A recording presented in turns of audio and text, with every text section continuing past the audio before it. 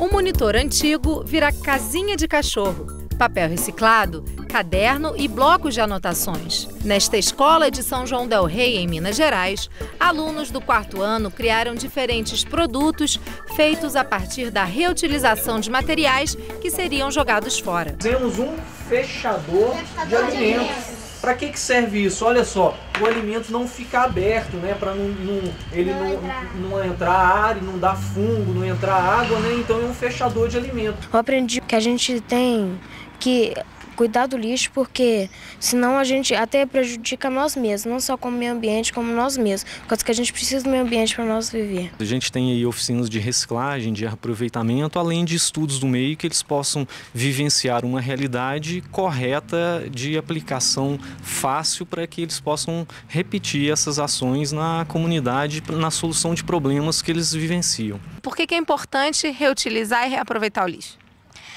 É porque assim a gente não tá dando o destino errado pro lixo. O destino certo são as incinerações, as usinas de triagem e compostagem. Os lixos que sobram de seco, às vezes eu faço porta-treco, às vezes eu faço uma hortinha de planta com a, com a garrafa PET. Se nós não preservarmos, tudo isso voltará contra nós.